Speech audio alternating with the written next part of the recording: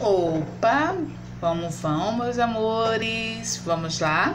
A nossa aula de hoje, de terça-feira, dia 10 do 11 de 2020. Isso mesmo, hoje, terça-feira, 10 de novembro de 2020. Vamos começar com a revisão de tipos de reta da página 24, problemas a, a partir de figuras ou cena, e as atividades vai ser das páginas 20, 229 a 231.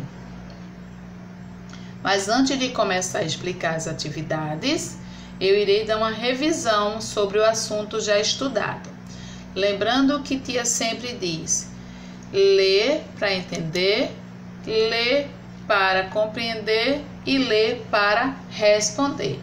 E nessas aulas aqui, a tia dá um complemento do que vocês vão ver no livro de vocês. Então, mãos a obras, preparados? Reta. A reta é formada por infinitos pontos que estão alinhados. Ela é limitada nos dois sentidos.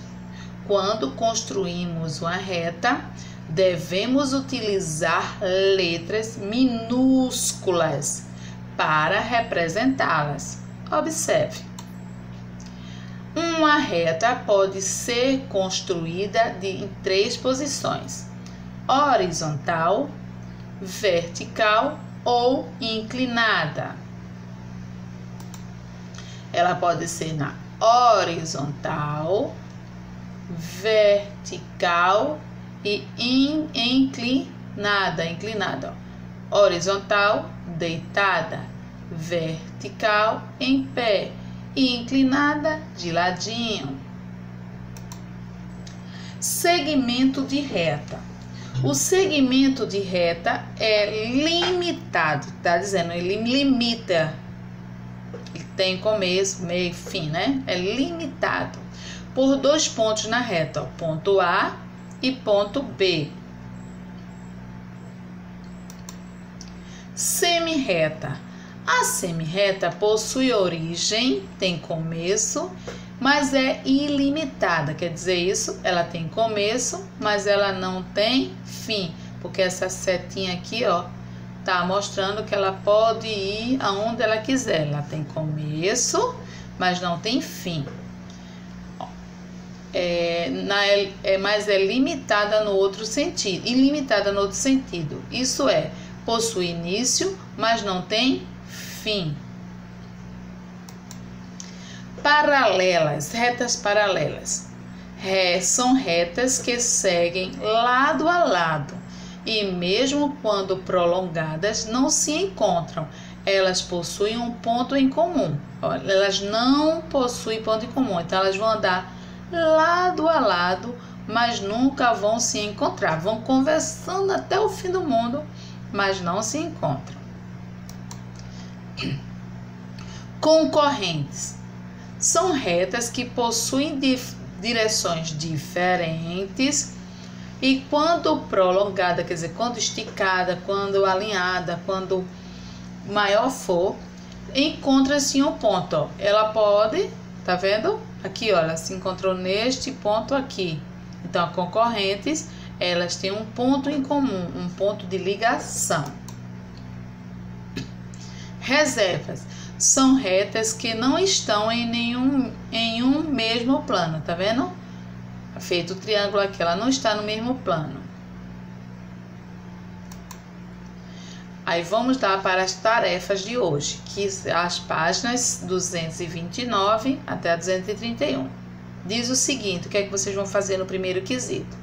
Vocês vão observar o mapa que tem aí na página 229 e vai pintar a rua paralela à rua Margarida, quer dizer, aquela que vai ficar lado a lado, mas ela não vai se encontrar em nenhum, nem no começo, nem no meio, nem no fim.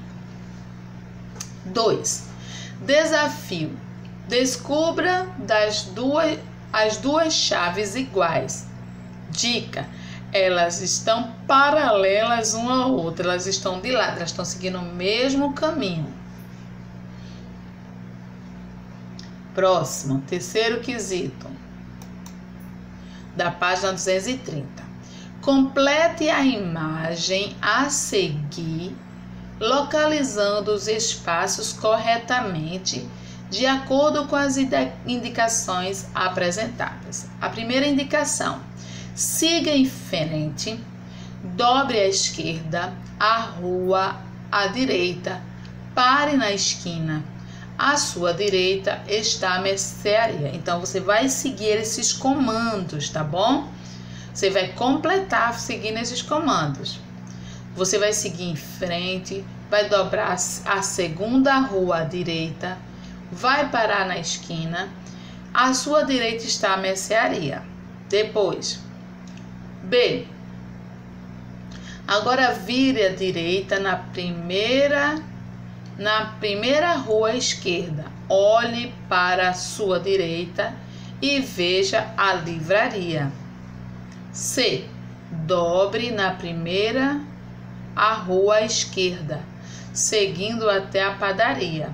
Do lado da padaria, você deverá escrever o nome da sorveteria. Então, seguindo esses comandos, vocês prestam atenção em as palavras-chave. Vocês vão ter que achar a mercearia, a livraria e a sorveteria. Quarto e último quesito, que é da página 231 lendo e fazendo com lápis o caminho que Mário percorreu na escola abaixo. Então, tem imagem de uma escola aí embaixo, tá? No livro de vocês. Então, você vai lendo e fazendo com lápis. Você, a partir do momento que você vai lendo a questão, você vai já fazendo. Então, diz assim, ó. Partindo do portão, Bota o lápis no portão. Mário chegou ao corredor de entrada na escola. Então, põe o lápis no portão e vá seguindo até chegar ao corredor de entrada da escola. Parou. Seguiu e pegou o corredor à direita. Vá com lápis e entre à direita. Dobrou à esquerda, pega o lápis, vai para a esquerda para pegar o outro corredor. Seguiu em frente nesse corredor até a segunda entrada à esquerda e entrou na segunda porta à direita. Mário chegou ao. Então, a partir do momento que você for lendo o enunciado, você vai fazendo o caminho com lápis. Aí você vai chegar junto com Mário e vão descobrir aonde Mário chegou. Tá ok? Então, como tia sempre diz, ler para entender, ler para compreender e ler para responder. Então, o que tia passou aqui foi um complemento, mas leia o livro e responda as questões, tá bom? Beijo, meus amores. Tchau. Beijo de tia Mônica. Fiquem com Deus.